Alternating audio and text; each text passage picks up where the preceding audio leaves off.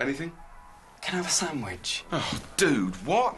Come on. We need more tracks for the gig. Good ones. I know, but it's sort of hard to be creative in that when you're really hungry. How long can it take to come up with three minutes of music? Six minutes max. That's being generous. That's two minutes per minute. Can I have an apple? You think we're made of apples?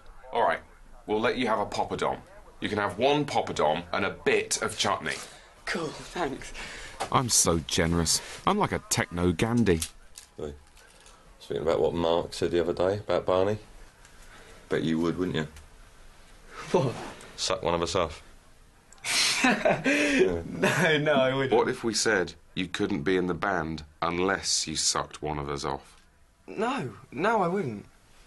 You had to think twice, though, didn't you? No, I didn't. I, honestly. Which one of us then? If you had to pick one of us, which one would you pick? Go on.